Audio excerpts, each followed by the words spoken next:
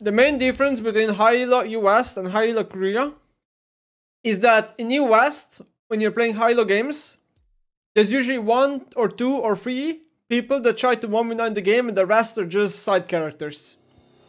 In Korea, this doesn't happen as much. In Korea, it's very rare to find a game where someone just 1v9s.